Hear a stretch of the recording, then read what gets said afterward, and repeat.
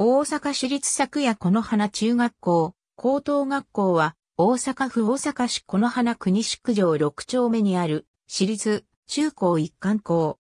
従来の大阪市立扇町高等学校と、大阪市立この花総合高等学校を統合改編して、併設型中高一貫教育を行う学校として、2008年4月1日に開校した。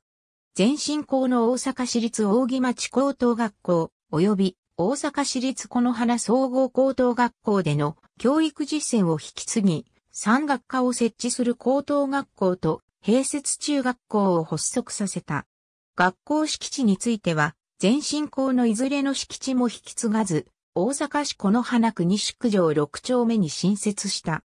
また2008年度2009年度の2年間は、前進校2校も大阪市立昨夜この花中学校、高等学校の敷地内に移転して同居する形になった。大阪市立昨夜この花高等学校には、総合学科、演劇科、食物文化科の3学科を設置する。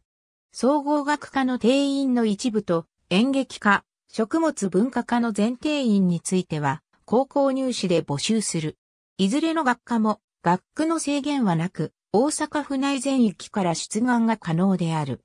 また、総合学科の定員の一部については、併設校の大阪市立作やこの花中学校からの内部進学となる。総合学科には、理数系列、ロボット工学系列、スポーツ系列、言語社会系列、造形芸術系列、映像表現系列の6つの系列を設置し、生徒の興味や関心、希望進路などに応じて多彩な選択科目を受講することが可能となる。演劇科は公立高等学校としては全国で2例目の設置となり、演劇について専門的に学ぶ。食物文化科では食物の扱いや調理について専門的に学ぶ。同学科では調理師資格取得も可能なカリキュラムが組まれる。